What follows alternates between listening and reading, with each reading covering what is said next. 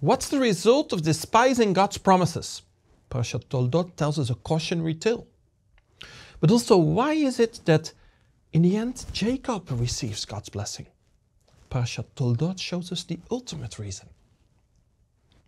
Parashat Toldot demonstrates how God's promise prevails in the generations after Abraham, in spite of human twists and turns.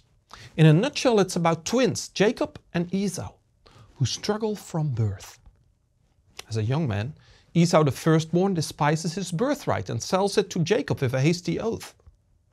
Then in the next chapter, God's oath, his oath of blessing to Abraham, is confirmed to Isaac. And finally, in the last part of the Parsha, we read how Jacob, instigated by his mother, tricks his father Isaac into giving him the blessing of the firstborn.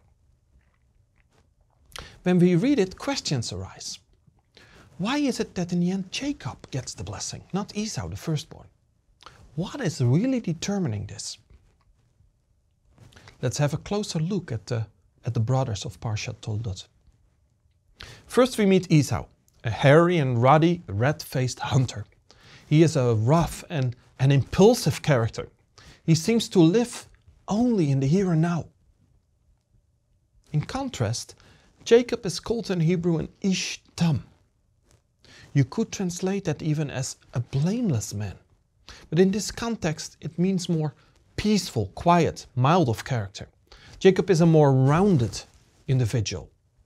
He is literally and figuratively more smooth, but not just in the positive sense of the word. Jacob captures the moment when his twin is tired and bargains Esau into selling his birthright with an oath.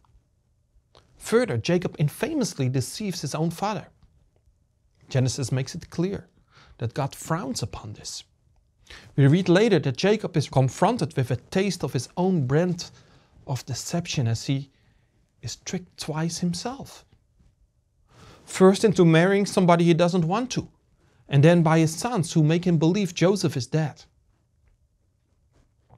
But back to, to radish Esau, who desires instant satisfaction and who sells his birthright for some red lentil soup. This is no ordinary birthright being born in the family to which God promised amazing covenant blessings, even that he would be their God, that entitles Esau to a one of a kind inheritance. See, especially Parshat Lech Lecha for this. This birthright is marvelously holy, but Esau thinks nothing of it. He completely lacks faith. And then Esau loses the birthright blessing. When he realizes he has he forfeited what he should have deeply valued. He cries out, wailing in despair, but it's too late. It's a cautionary tale indeed. What about us? Do we cherish God's promises as holy and precious, or do we treat them lightly?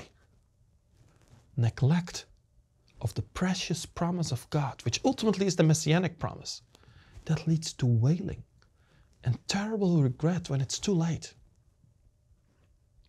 But now Jacob again does he receive the blessing in the end because he, he is a more rounded individual and Ish Tam?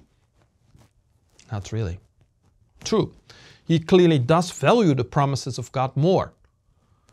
But the way he and his mother try to obtain them, that's not really an example of godliness. They don't wait for God, but they try to obtain his blessings by messy human efforts. And just as before, when Abram tried to do things his own way and took Hagar as concubine, serious family trouble is the result. Jacob has to flee far away when Esau wants to kill his deceitful twin brother. But through this all too human story, God's purposes stand as the ultimate determining factor. In the end, it's not that Jacob is better than Esau. It's in the end about God's gracious free choice for the younger brother. The ultimate determining factor is that God simply wanted Jacob as his own. We see this at the beginning of the Parsha, before the two brothers did anything. Rebecca seeks God, asking why her twins are struggling so much in her womb. The Almighty responds two nations are in your womb. And two peoples from within you shall be divided. The one shall be stronger than the other. The older shall serve the younger. Here we see the ultimate truth. It is God's free and gracious choice for Jacob, which precedes everything. And that is what prevails through all the human twists and turns of the developing story. God's gracious choice and the oath of His covenant. That's what we all should rely on. Trusting in His purpose and promises that will save us a lot of trouble and that will give us His shalom. No, our hope is not in, in human effort or merit, but our hope is in God Himself, stepping into our story, Him coming down even. We see God doing this when, when Jacob literally hits rock bottom because of the trouble he caused. But that's in our next Parsha. For now, if you want to react or talk with us, don't hesitate to use the chat option. We would love to talk with you.